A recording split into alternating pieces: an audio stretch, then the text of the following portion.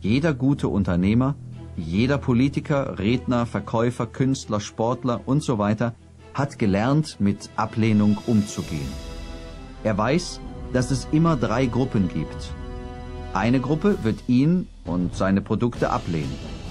Die zweite Gruppe kann sich nicht entschließen und tut schließlich gar nichts. Und die dritte Gruppe nimmt ihn an bzw. kauft. Ganz gleich, was sie tun, sie werden immer diese drei Gruppen finden. Das liegt nicht an ihrem Produkt und es liegt auch nicht an ihnen.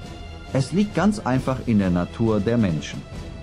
Sie sollten eine Ablehnung darum niemals persönlich nehmen.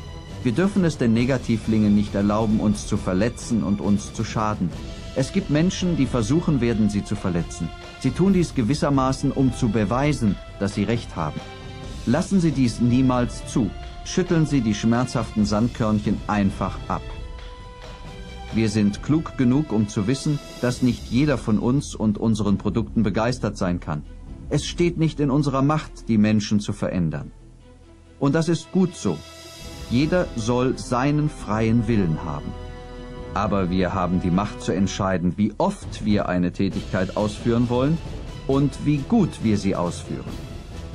Was den Unterschied ausmacht, sind Sie ganz alleine. Vor allem aber macht eines den Unterschied aus, Ihr Gefühl für sich selbst. Nicht was Sie sagen macht den Unterschied aus, sondern wie Sie es sagen und da gibt Ihr Gefühl den Ausschlag. Beide eine durchschnittliche und eine außergewöhnliche Person haben Verlangen, Interesse und eine gewisse Bereitschaft. Aber Gewinner haben ein spezielles Verlangen. Sie haben ein spezielles Interesse und sie haben eine spezielle Bereitschaft. Gewinner haben ganz einfach mehr Verlangen, mehr Interesse und entwickeln mehr Bereitschaft. Sie sind hungriger, lernwilliger, eifriger, interessierter und bereit zu tun, was auch immer nötig ist, um ihr Ziel zu erreichen. Gewinner haben stärkere Gründe, warum sie ihre Ziele erreichen müssen. Denn erst wenn unsere Gründe so stark sind, dass wir unsere Ziele tatsächlich erreichen müssen, entwickeln wir spezielles Verlangen, spezielles Interesse und spezielle Bereitschaft. Und dann ist es auch nicht wichtig, was die anderen sagen, denn dann ist ihnen ihr Ziel wichtiger als die Meinung der anderen. Sie sollten sich nur auf die Gruppe konzentrieren, die sie annimmt.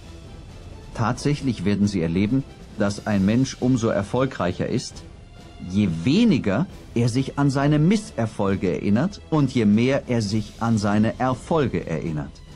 Gewinner erkennen, dass die beste Art, mit Ablehnung umzugehen, immer noch die ist, sie einfach ganz schnell abzustreifen und zu vergessen.